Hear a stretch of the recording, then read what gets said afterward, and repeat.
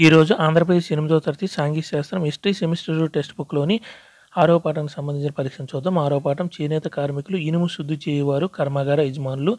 ఇందులో నూట యాభై ఎనిమిది నుంచి నూట డెబ్బై ఒకటి పేజీ వరకు. ముందుగా నేను ప్రశ్నలు చదువుతున్న మీరు కూడా ఆన్సర్ రాయండి. లాస్ట్లో ఆన్సర్లు చూద్దాం. ఎప్పుడు టాటా ఇనుము ఉక్కు కంపెనీ టిస్కో తన ఉక్కు ఉత్పత్తిని ప్రారంభించింది? ఏ పంతొమ్మిది వందల పదమూడులో బి పంతొమ్మిది వందల పద్నాలుగులో సి పంతొమ్మిది వందల పన్నెండులో డి పంతొమ్మిది వందల పదిహేనులో? ఎప్పుడు టాటా ఇనుము ఉక్కు కంపెనీ టిస్కో తన ఉక్కు ఉత్పత్తిని ప్రారంభించింది. ఏ పంతొమ్మిది వందల పదమూడులో బి పంతొమ్మిది వందల పద్నాలుగులో సి పంతొమ్మిది వందల పన్నెండులో డి పంతొమ్మిది వందల పదిహేనులో. పద్దెనిమిది వందల అనగా టిప్పు సుల్తాన్ చనిపోయిన సంవత్సరం తర్వాత ఎవరు మైసూరును పర్యటించారు? A Francis Galton B Francis Buchanan C Nikhil Buchanan D Francis Nicholas. పద్దెనిమిది వందలో అనగా టిప్పు సుల్తాను చనిపోయిన సంవత్సరం తర్వాత ఎవరు మైసూర్ని పర్యటించారు? A. Francis Galton B. Francis Buchanan C Nikhil Buchanan D. Francis Nicholas. ఎప్పుడు జపాన్లోని మీజీ అధికారం చేపట్టాక పాశ్చాత్య ఆధిపత్యాన్ని నిరోధించేందుకు జపాన్లో పారిశ్రామీకరణ అవసరమని విశ్వసించింది. ఏ పంతొమ్మిది వందల పద్దెనిమిది బి పంతొమ్మిది వందల డెబ్బై ఎనిమిది సి పంతొమ్మిది వందల డెబ్బై ఎనిమిది డి పద్దెనిమిది వందల అరవై ఎనిమిది. ఇప్పుడు జపాన్లో మీజీ అధికారం చేపట్టాక పాశ్చాత్య ఆధిపత్యాన్ని నిరోధించేందుకు జపాన్లో పారిశ్రామికీకరణ అవసరమని విశ్వసించింది. ఏ పంతొమ్మిది వందల పద్దెనిమిది బి పంతొమ్మిది వందల డెబ్బై ఎనిమిది సి పద్దెనిమిది వందల డెబ్బై ఎనిమిది డి పద్దెనిమిది వందల అరవై ఎనిమిది. మధ్య భారతదేశంలో ఇనుము శుద్ధి చేసే కళలో నైపుణ్యం కలిగిన వారు ఏ అగారియాలు బి బిల్లులు సి సవరలు డి బాసిన్లు.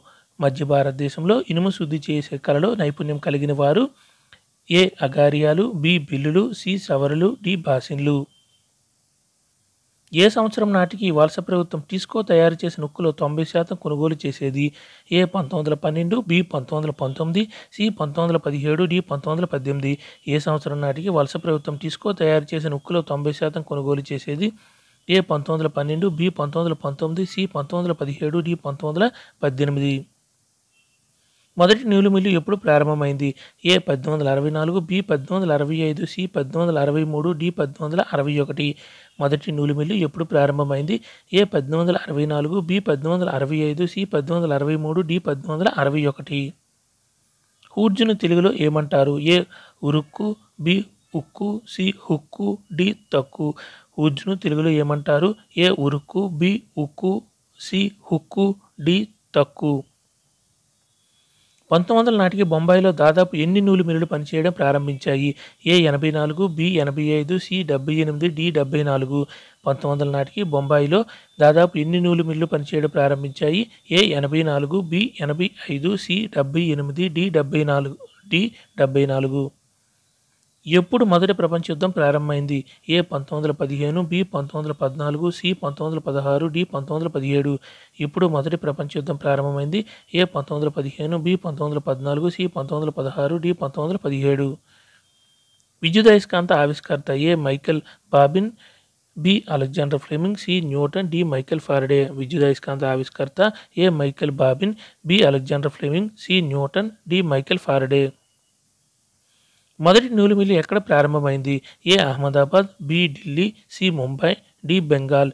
మొదటి నూలు మిల్లు ఎక్కడ ప్రారంభమైంది? A Ahmedabad B Delhi C Mumbai D Bengal. Tata ఇనుము ఉక్కు కంపెనీ టిస్కో ఏ నది ఒడ్డున స్థాపించబడింది? A Ganga B Yamuna C Subarnarekha D Pamba. Tata ఇనుముక్కు company Tisco ఏ నది ఒడ్డున స్థాపించబడింది? A Ganga B Yamuna C Subarnarekha D Pamba. పంతొమ్మిది శతాబ్దం చివరినాటికి ఇనుము శుద్ధి చేసే పరిశ్రమ తగ్గుతూ వచ్చింది. దానికి కారణాలు ఏ బ్రిటన్ నుంచి ఇనుముకు దిగుమతి బి నూతన అటవీ చట్టాలు సి స్మెల్టర్లు వినియోగించే ప్రతి కులమికి పన్ను చెల్లింపులు డి పైవన్నీ. పంతొమ్మిది శతాబ్దం చివరి నాటికి ఇనుము శుద్ధి చేసే పరిశ్రమ తగ్గుతూ వచ్చింది. దానికి కారణాలు ఏ బ్రిటన్ నుండి ఇనుముకు దిగుమతి బి నూతన అటవీ చట్టాలు సి స్మెల్టర్లు వినియోగించే ప్రతి కులమికి పన్ను చెల్లింపులు డి పైవన్నీ. టిప్పు సుల్తాన్ ఎంతవరకు మైసూరును పాలించారు? ఏ పదిహేడు వందల తొంభై తొమ్మిది బి పదిహేడు వందల అరవై తొమ్మిది సి పదిహేడు వందల ఎనభై తొమ్మిది డి పదిహేడు వందల డెబ్బై తొమ్మిది. టిప్పు సుల్తాన్ ఎంతవరకు మైసూరును పాలించారు? ఏ పదిహేడు వందల తొంభై తొమ్మిది బి పదిహేడు వందల అరవై తొమ్మిది సి పదిహేడు వందల ఎనభై తొమ్మిది డి పదిహేడు వందల డెబ్బై తొమ్మిది. ఒక సంవత్సరం తర్వాత యునైటెడ్ ప్రావిన్స్లోని ఏ ప్రాంతంలో ఒక మిల్లు స్థాపించారు? A Delhi B Bengaluru C Kanpur D Mumbai. ఒక సంవత్సరం తర్వాత యునైటెడ్ ప్రావిన్స్లోని ఏ ప్రాంతంలో ఒక మిల్లు స్థాపించారు? A Delhi B Bengaluru C Kanpur D Mumbai. అందరూ ఆన్సర్ రాసారా ఓకే ఇప్పుడు ఆన్సర్ చూద్దాం. ఎప్పుడు టాటా ఇనుముక్కు కంపెనీ టిస్కో తన ఉక్కు ఉత్పత్తిని ప్రారంభించింది. కరెక్ట్ ఆన్సర్ సి పంతొమ్మిది వందల పన్నెండులో. ఎప్పుడు టాటా ఇనుముక్కు కంపెనీ టిస్కో తన ఉక్కు ఉత్పత్తిని ప్రారంభించిందంటే పంతొమ్మిది వందల పన్నెండులో. Correct answer C. పద్దెనిమిది వందలు అనగా టిప్పు సుల్తాన్ చనిపోయిన సంవత్సరం తర్వాత ఎవరు మైసూర్ని పర్యటించారు? Correct answer B Francis Buchanan. పద్దెనిమిది వందలు అనగా టిప్పు సుల్తాన్ చనిపోయిన సంవత్సరం తర్వాత ఎవరు మైసూర్ని పర్యటించారంటే Francis Buchanan. Correct answer B. ఎప్పుడు జపాన్లోని మీజీ అధికారం చేపట్టాక పాశ్చాత్య ఆధిపత్యాన్ని నిరోధించేందుకు జపాన్లో పారిశ్రామికీకరణ అవసరమని విశ్వసించింది. కరెక్ట్ ఆన్సర్ డి పద్దెనిమిది వందల అరవై ఎనిమిదిలో ఎప్పుడు జపాన్లోని మీజీ అధికారం చేపట్టాక పాశ్చాత్య ఆధిపత్యాన్ని నిరోధించేందుకు జపాన్లో పారిశ్రామికీకరణ అవసరమని విశ్వసించింది. పద్దెనిమిది వందల అరవై ఎనిమిదిలో కరెక్ట్ ఆన్సర్ డి. మధ్య భారతదేశంలో ఇనుము శుద్ధి చేసే కళలో నైపుణ్యం కలిగిన వారు కరెక్ట్ ఆన్సర్ ఏ. అగారియాలు మధ్య భారతదేశంలో ఇనుము శుద్ధి చేసే కళలో నైపుణ్యం కలిగిన వారు అగారియాలు కరెక్ట్ ఆన్సర్ ఏ. ఏ సంవత్సరం నాటికి వలస ప్రభుత్వం తీసుకో తయారు చేసిన ఉక్కు ఉత్పత్తిలో తొంభై శాతం కొనుగోలు చేసేది? కరెక్ట్ ఆన్సర్ బి పంతొమ్మిది వందల పంతొమ్మిది నాటికి. ఏ సంవత్సరం నాటికి వలస ప్రభుత్వం తీసుకో తయారు చేసిన ఉక్కులో తొంభై శాతం కొనుగోలు చేసేది పంతొమ్మిది వందల పంతొమ్మిది నాటికి? Correct answer B. మొదటి నూలు మిల్లు ఎక్కడ ఎప్పుడు ప్రారంభమైంది? కరెక్ట్ ఆన్సర్ డి పద్దెనిమిది వందల అరవై ఒకటిలో. మొదటి నూలు మిల్లు ఎప్పుడు ప్రారంభమైందంటే పద్దెనిమిది వందల అరవై ఒకటిలో. Correct answer D. ఊర్జును తెలుగులో ఏమంటారు? Correct answer C hook. ఊర్జును తెలుగులో ఏమంటారంటే హుక్కు కరెక్ట్ ఆన్సర్ సి. పంతొమ్మిది వందల నాటికి బొంబాయిలో దాదాపు ఎన్ని నూలు మిల్లులు పనిచేయడం ప్రారంభించాయి? కరెక్ట్ ఆన్సర్ ఏ ఎనభై నాలుగు. పంతొమ్మిది వందల నాటికి బొంబాయిలో దాదాపు ఎన్ని నూలు మిల్లులు పనిచేయడం ప్రారంభించాయి అంటే ఎనభై నాలుగు కరెక్ట్ ఆన్సర్ ఏ. ఎప్పుడు మొదటి ప్రపంచ యుద్ధం ప్రారంభమైంది? కరెక్ట్ ఆన్సర్ బి పంతొమ్మిది వందల పద్నాలుగు. ఎప్పుడు మొదటి ప్రపంచ యుద్ధం ప్రారంభమైందంటే పంతొమ్మిది వందల పద్నాలుగులో? Correct answer B. విద్యుదయస్కాంత ఆవిష్కర్త correct answer D Michael Faraday. విద్యుదయస్కాంత ఆవిష్కర్త Michael Faraday correct answer D. మొదటి నూలుమిల్లు ఎక్కడ ప్రారంభమైంది? Correct answer A Ahmedabad. మొదటి నూలుమిల్లు ఎక్కడ ప్రారంభమైందంటే Ahmedabad correct answer A.